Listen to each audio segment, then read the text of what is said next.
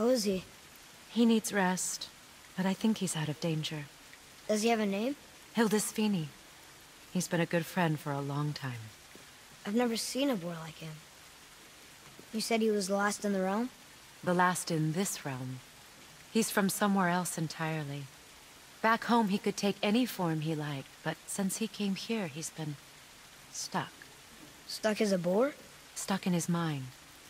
His own true nature grows faint in his memory, like a dream, while the illusion feels more real every passing day.